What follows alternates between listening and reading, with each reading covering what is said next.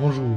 J'ai un peu de honte à vous présenter ce que je vais vous présenter, mais je ne connaissais pas.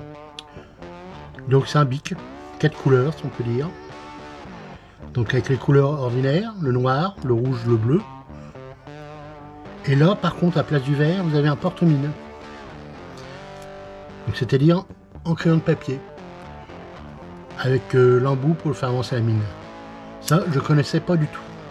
Donc euh, je ne sais pas si c'est nouveau ou pas, mais je vous fais passer l'info.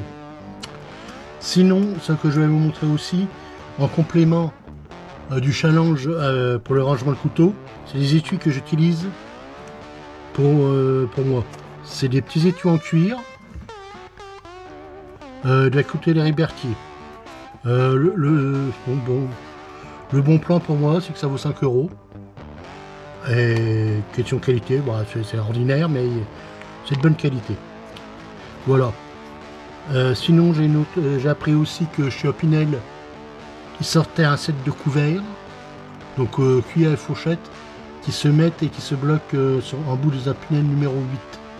Donc si ça peut intéresser quelqu'un, si je dis pas de bêtises, ça vaut 12 euros. Moi perso, c'est pas mon truc. Je vois pas l'intérêt d'avoir une fourchette en bout d'un couteau. Voilà. Je vous remercie. Bonne journée.